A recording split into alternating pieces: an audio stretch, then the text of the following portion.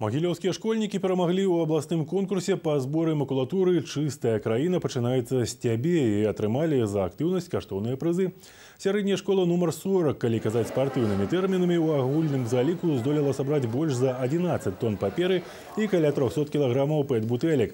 Другасную сыравіну дзеці збіралі ў класах, ва ўласных дамах, наведвалі суседзяў. Самі, самымі прадуктыўнымі сталі трэція класы за што атрымалі ад магілёўскага спецаўтапрадпрыемства ў падарунак прынтары. Мы разъясняем, что все начинается с с каждого э, человека, который хочет сохранить природу. И мы объясняем детям, показываем видеоролики, что все, вся работа проведенная ведет на то, на сохранение нашего земного шара. Но еще, конечно, они знают, что все деньги, которые собраны в рамках этой акции, выполняются э, наш, э, наш фонд библиотечный, выписывается литература. Вклад вашего класса сколько составил килограммов?